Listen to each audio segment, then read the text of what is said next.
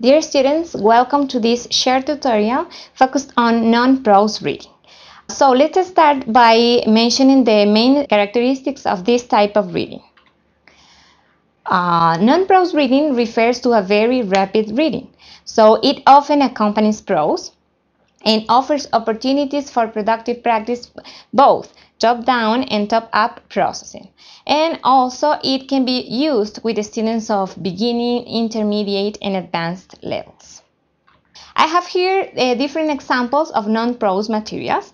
Uh, for example, here we have uh, graphs or tables.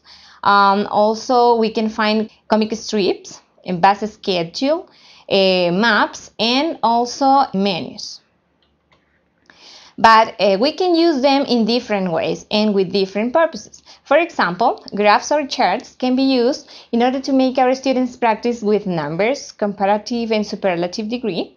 In the case of a comic strip, students can recognize a relationships among ideas. Bus schedule can be used in order to make our students practice time, days of the week, months, and also tenses.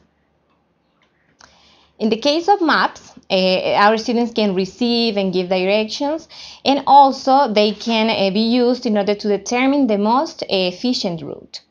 In the case of menu restaurants, uh, our students can practice about food preferences, ingredients, price, etc.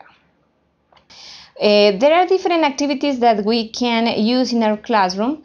Uh, for example, reading non-prose text for a general understanding. Uh, in the case of non-prose skimming, our students can skim a menu to see if one can afford to eat in a particular restaurant. Also, we have the non-prose scanning, in which students can read different food labels to determine which uh, have food additives. Another activity is reading non-prose text for a thorough uh, comprehension. Uh, the purpose of this activity is to make our students understand relationships among ideas. Here, uh, as an example, I have the Jigsaw reading in which students need to recreate uh, or create a logical sequence with the pictures that they are going to find in this part. In the case, another activity is a critical reading of non-prose text. This kind of reading requires going beyond literal understanding in order to draw inferences and evaluate a text.